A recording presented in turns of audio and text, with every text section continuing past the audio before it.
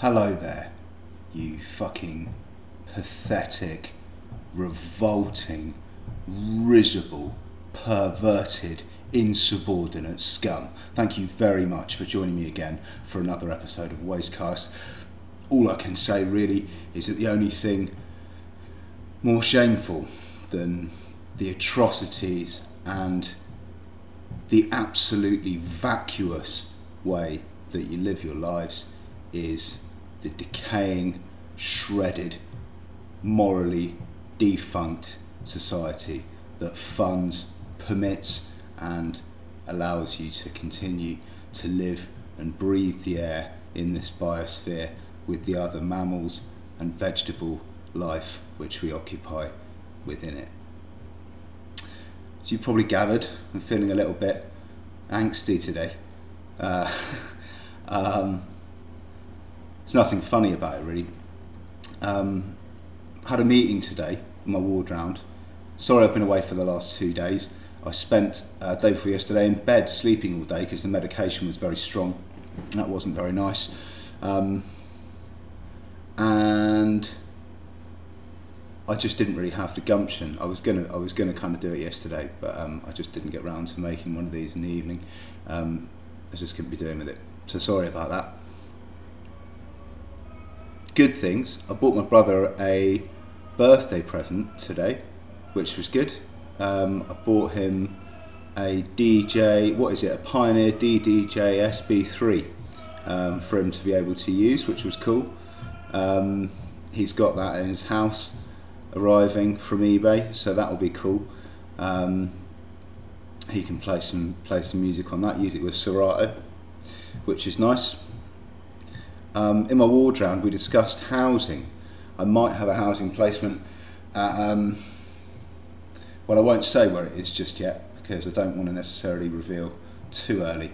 Uh, but it's somewhere in uh, the Gloucestershire area or North Bristol. It's very close to Bristol he said to me originally it was in Bristol, but um, but there's a housing provider which might be interested. So in the next couple of days, I'm going to conduct um, an interview and have an assessment about housing placement. I think it's supported accommodation um, for people who have mental ill health like myself.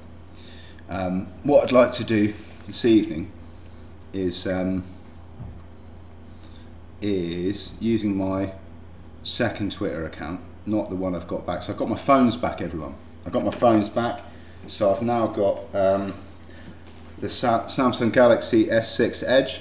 This is one of the only phones that will support call recording. So that means that I can record phone calls and put them onto Google Drive like I was doing before for anybody that's followed me on that. Um, it runs Android 7. I bought this especially in the hospital um, when I was at Blackheath. I got it delivered there from Amazon. Um, so yeah, I can put the SIM card into this and I can make phone calls and record them. I've got another S6, which is really knackered. Um, but it does also record calls, but um, I had to go and buy a, a, wireless charger for it today because the when I put it on charge in Blackheath, um, it was just completely, the charging socket was just completely mashed up when I got it back.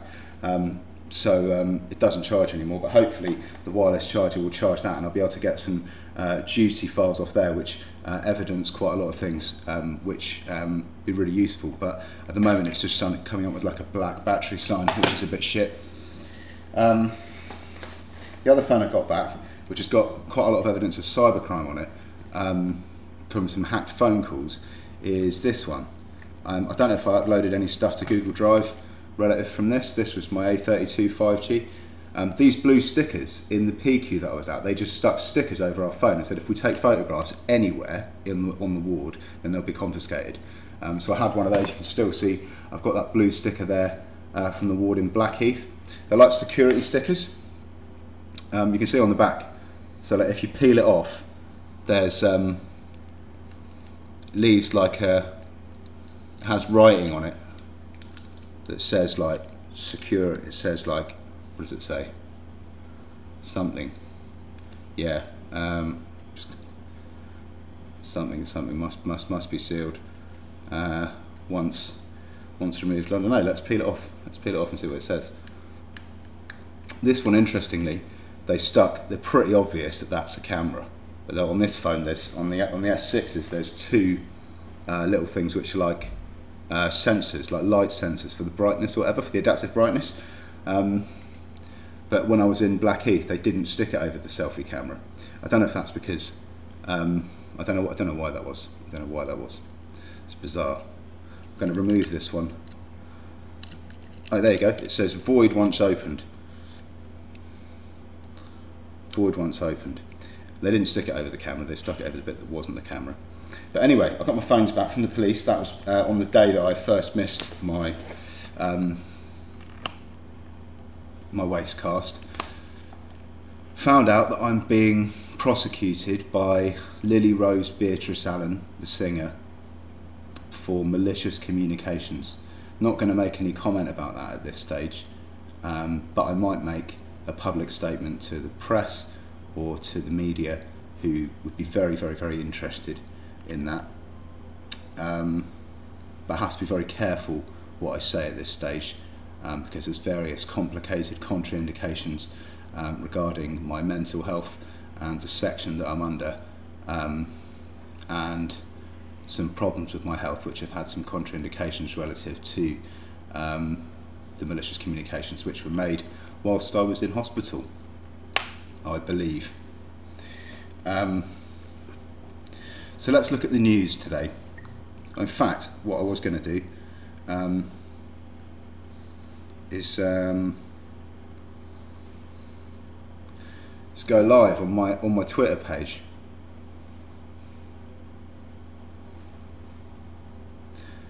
So I'm now live on my Twitter page.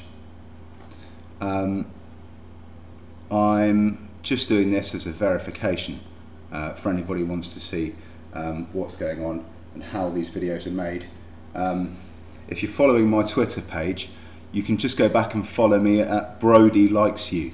At Brodie Likes You. Follow me on that page because I've got my old phones back and my old three SIM cards and my O2 SIM cards. If you want to phone me up, you can phone me on 07542. Sorry, on that's a very old phone number. You can phone me on 07576 713 026. That's 07576 713 026. Or you can phone me on 07927 625 270. I keep one of the SIM cards. The one that ends in 026 is in the dual SIM in this phone. Um, you can phone, follow me at, at Brodie Likes You. Um, and that's my normal Twitter page. I've got access to that now, um, but I had to set up a new Twitter page I didn't have my SIM card to verify with the text. Um, but the waste wastecasts literally come from within this room. Um, I'm going to let the brightness adjust itself and give you a little 360. You can see this is the room that I'm in. Here's my coat, here's the phones I got back from the police um, after they confiscated them. This is my bedroom. That's a detachable magnetic uh, orange fluffy door. I'll take you to go and have a look at that. This thing's amazing. You can just stick it back up on the wall there. There you go. And it just doesn't quite well, it does just fall off if you um, do that. Here's the bathroom, or the toiletries that I bought today. Um, nice toilet there.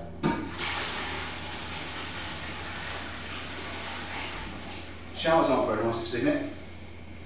They could do with a little bit of um, a little bit of um, a retouch. They're kind of quite gross. There's kind of like creepy crawlies and all sorts. Showers quite nicely and blocked. But um, I'm sure these will be sorted out by maintenance in due course. This bit gets particularly slippery when you're walking out of the shower and the in. But anyway, any of the viewers on YouTube uh, want to see what just happened, then you can just check um, at Brodie's face on Twitter, um, and you can see all of the um, live broadcast there. I'm going to finish that live broadcast now.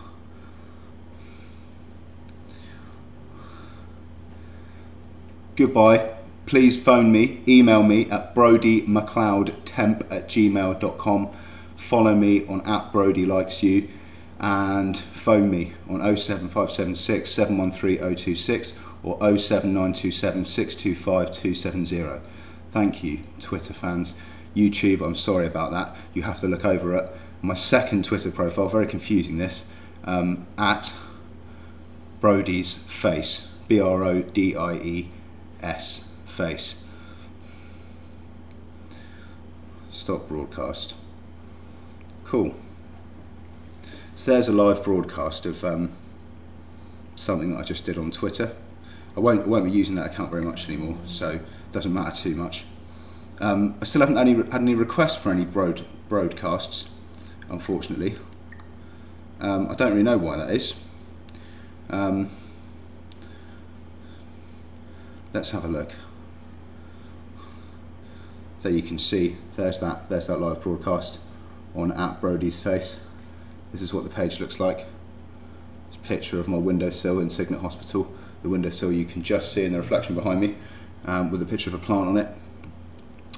I've had a really bad time in hospital and I really want to get out of hospital. Everybody here, a lot of the other patients, you know, um, just kind of take the piss. And, um, you know, obviously there's sometimes a bit of friction between the other patients. Most of the time, um, you know, they're friendly and they're kind and some of them are, are great, um, these people. So are the staff. Um, but sometimes people, you know, human beings do sort of mock each other. They're quite subtle and they're quite snide. Um, and if you know, you know. Do you know what I mean? It just makes it very, very clear. Um, it kind of tells you that you're in a mental hospital. It's like you know you don't really need to kind of like, um, kind of, um, you know, have a kind of. Um, it gives you a very, very clear picture of what's um, going through people's heads and the the things that they're struggling with in their own in their own mental health. I mean, people. I don't think anybody mocks. I carry a bag. I carry this bag around with me all the time. You know, people quite often make sort of comments about that, um, or other things um, that that might be a bit different. And I, I, wouldn't say they take the piss. That's a bit that's a bit harsh, but. Um, um, some of them kind of do in some ways, and that's sort of quite difficult to deal with. Most people are really friendly. I get on with most people on the ward. You know, they're really, really lovely people. Do you know what I mean? Um, but um, but yeah, uh, the bag's full of stuff, not money, um, unfortunately, but um, yeah, literally, it, it's uh, it's it's a motherfucker to carry around all the time. But I keep my laptop in this bag. Um, and my mobile phones and chargers and stuff because I don't want any of that shit to go missing. I also keep this, normally keep this blue folder, which has got a whole load of stuff. Um, let's have a little talk through this blue folder. What, what have we got inside? Here's a whole load of printouts of when I was at Cygnet Taunton, and they got my name and my date of birth wrong on loads of stuff. So you can see this is like uh, the 26th of the 6th, 86. Um, they spelt my name like about four different ways. Um, on lots of different documents. What else have we got? Here's a letter from the Mental Health Act Administrator, uh, Kitty Granger, which I got in 2019, said that whilst I'd been at Cygnet Darlington, uh, they'd uh, put me under a Section 3 without any medical legal scrutiny being completed. Then I've been transferred under a Section 3 from Signet Darlington to Signet Taunton, where there hadn't been a transfer in checklist. So, like, if you had like a head injury or something like that, and you were um, you didn't have medical legal scrutiny, then your uh, GP or your medical records might not be attached to your section notes and you might be forcibly medicated with medicine that could be really bad for you.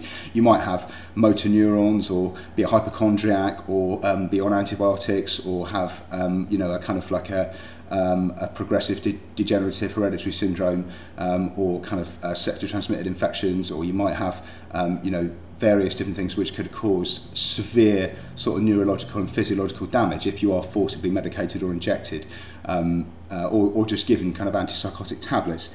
Um, so anyway, they, they told me that I've been unlawfully detained. You know, it doesn't necessarily mean it's unlawful, unlawful detention. Let me retract that statement. They told me that I'd been detained without medical legal scrutiny.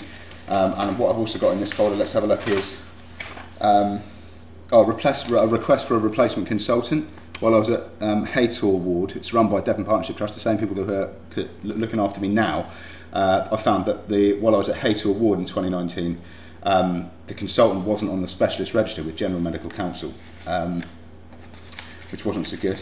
Um, so I've got a whole load of other uh, medical notes in there. Um, here's an example of a medical legal scrutiny checklist.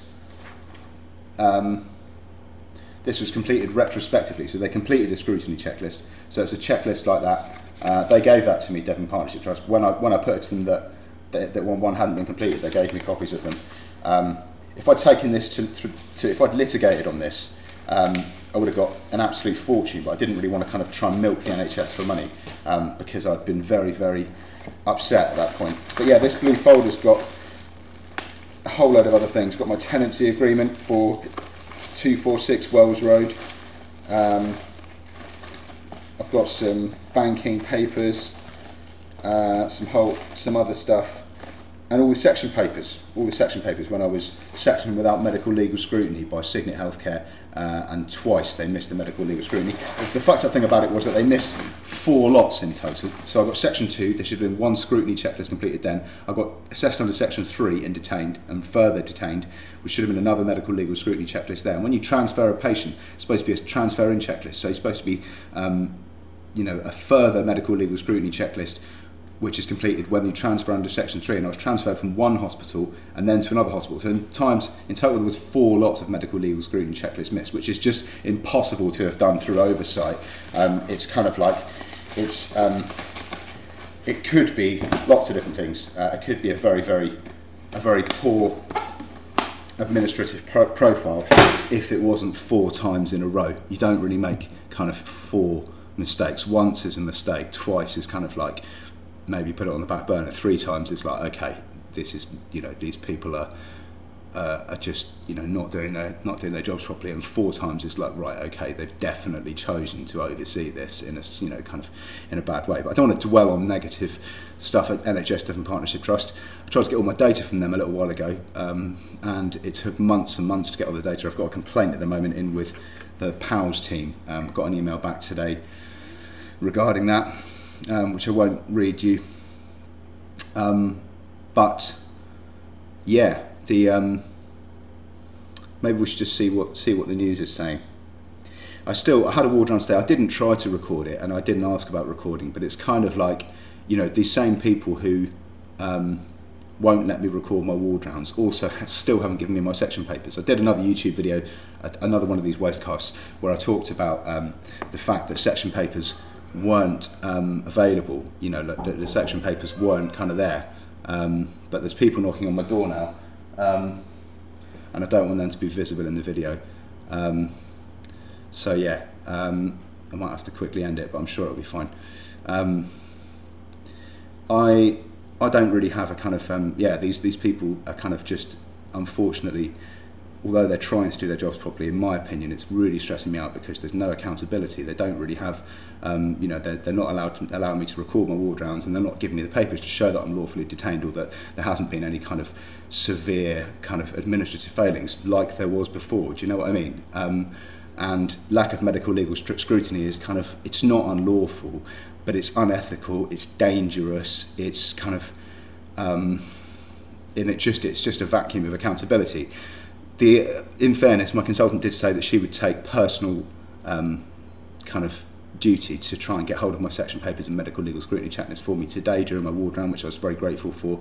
Um, and she did um, suggest that she felt that I was almost ready for discharge, um, that I'd made a good, you know, um, been taking my medication and I'd made a, a good, good sort of recovery. My social worker said that he felt that it wasn't, I'm not quite there yet, but I don't think he's got the professional capacity to make those kind of decisions. It's a lovely spot I've got there. Um, but um, but yeah, this is not almost 20 minutes. I'll read you some news just for fun. Um,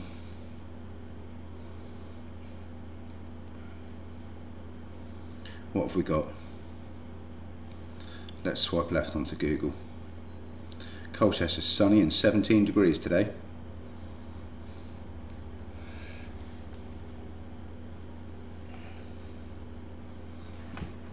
Nice. Let's put my shades back on.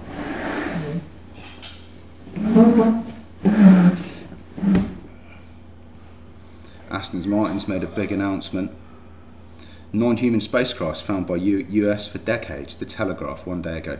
That's just hyperbole and conjecture. I mean, I'm not going to um, take that. I mean, it probably is true.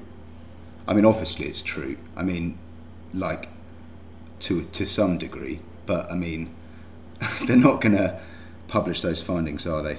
In the um, in the Vision Pro, that thing looks pretty cool. Anyone seen the Vision Pro? three and a half k in dollars. BBC editor tries it out. I'd be interested to see what that's like. But that's wicked. Minority Report's a fucking fantastic film. If you haven't seen a film, watch Minority Report. The only person to have won an Olympic gold medal and an Oscar. I probably could have won both of those things, you know, in another dimension. I'm sure I, I would have loved to have done a bit of acting, um, and I also would have loved to have um, to have um, done some um, fitness stuff. I used to be very fit, but I'm not fit anymore. I'm overweight now. If you see a video I put on Google Drive earlier, I've got like a double chin a bit. Um, I've put on loads of weight.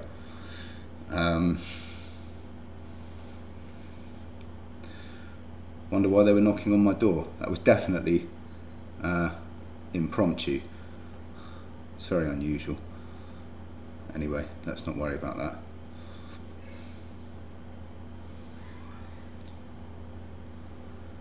What's this? Hugh Cornwell on the Stranglers' most controversial album, We Got Away with Murder, Far Out magazine, two days ago. I think the Stranglers actually really were Stranglers. That's pretty fucked up, isn't it? Um, yeah. I don't know. I don't know what. Um, I don't know what I think about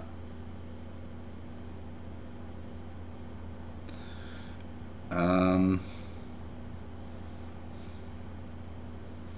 terracotta planter. I saw a lovely thing. They've got a place at this. Um, that's a Google advert. Sell your products on Google. Terracotta planter, thirteen dollars. Yeah, I suppose. So I um. Yeah, there's a place here called uh, Eleni House, which I think is a new development. They've just opened. They've just put a sign in the front door, I think, uh, or there was one just recently. A bit of paper I saw somewhere that said Eleni House, and I was looking at my search history. I've uploaded my search history of my recent leaves um, to Google Drive, and um, they've got this thing. It's made out of flower pots, and it's like yellow. It's like a yellow pot pot man just just a pot pot all all these pots there you know. Um, it's um, and that's outside. It's a fantastic bit of sculpture and artwork. If you want to see a picture of it look, I, t- I tell you what I'm not going to show you a picture of it. Maybe maybe I could maybe I could.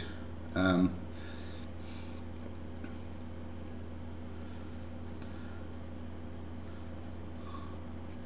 Eleni House, Colchester. Uh, maps. I'll show you the picture. There's several pictures on there. It's a picture of like, there he is. A little flower pot man. Oh no. There you go. Here's the little yellow flower pot man outside Eleni House. That's the one. It's the um, definitely the best the best one there. It's an absolute beast. Um, yeah. Um, anyway, don't know why that's there, but it's beautiful. If anyone knows why there's a little man made out of flower pots with a yellow top on outside Eleni House at Cygnet Colchester, then um, follow me on Twitter Follow me on Google Drive. Follow me on Instagram at Macleod Brodie, all lowercase. Follow me on Facebook, Brodie Nathaniel Deorsa Macleod. Um, once again, I'll show you my Facebook profile, just in case you want to add me on Facebook. Um, just show you a picture of my cover photo, uh, or maybe just a picture of. You can have a look at my my profile. It's there. It looks like that. Just search for it. Anyway, that's 24 minutes of your life you'll never get back. Thanks for watching. Come and see me. Phone me on my phones now if you want to, or you can keep trying to phone me on the ward phones if uh, that pleases you, or you can phone me on uh, Skype if you're on there, uh, or you can get me on Meet on Google um, if you want to set up a sort of a meeting or a Zoom. Uh, I've got a Microsoft 365 family account. I'm sure I can get I'm sure I've got meat at the bottom of there. Have I got some little purple thing? Yeah, it says, or chat. It says I've got one, one something on the purple blob. Wicked. Thanks very much for watching. Um, I had my hair cut today. I went on leave. Looks terrible, doesn't it? Look like a mangy cat. Um, Good day to you. All the best. Go fuck yourselves. Cheers.